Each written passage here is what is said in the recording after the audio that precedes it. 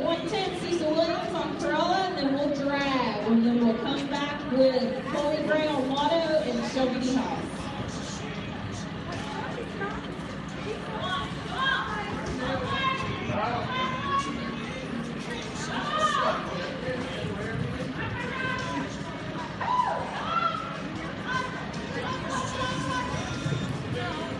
Chloe's time's at